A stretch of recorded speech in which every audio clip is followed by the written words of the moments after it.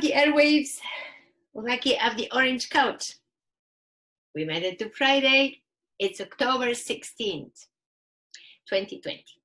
We made it to the end of the week, and I want to wish you a beautiful weekend from now. It's a beautiful day. You'll see the video, it's a little longer. Again, because it's been just beautiful. You'll see two new dogs. Frankie, five months old, hilarious. And our, and Brew, Brew is again in the picture. Okay, so now the sun is gone. My painting. I told you I cannot stop painting Chris and uh, Kiki because they're so happy in these pictures from their vacation in um, at the Black Sea. Okay, today quickly we're gonna talk about the importance of community for your health and longevity.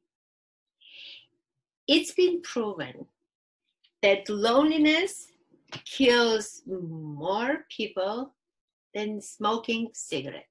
20 years ago, they proved it.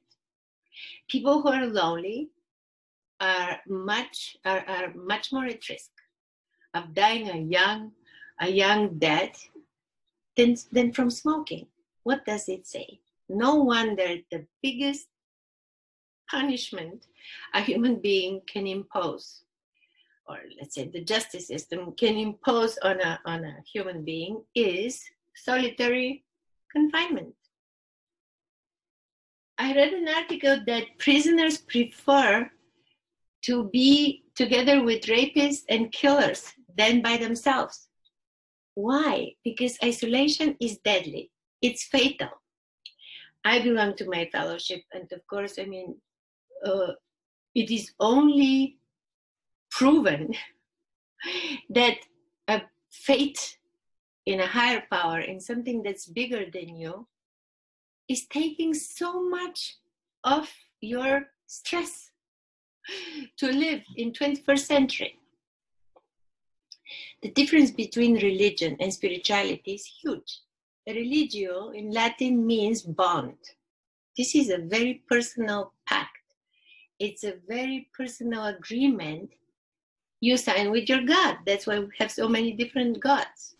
But spirit, among other things, such as booze, means the act of being filled with air.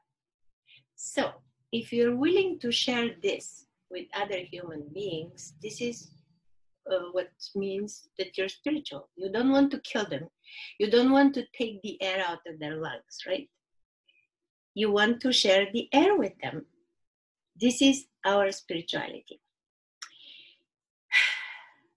Remember that the half being full is, is my half sorry, is my cup half full or half empty? So this is how we, we uh, walk through life. Okay, I learned in my program that my cup is half full with water, half full with air, and they're both vital. We need both water and air. Beautiful. Have a wonderful weekend, and we'll see you tomorrow. And tomorrow is Saturday.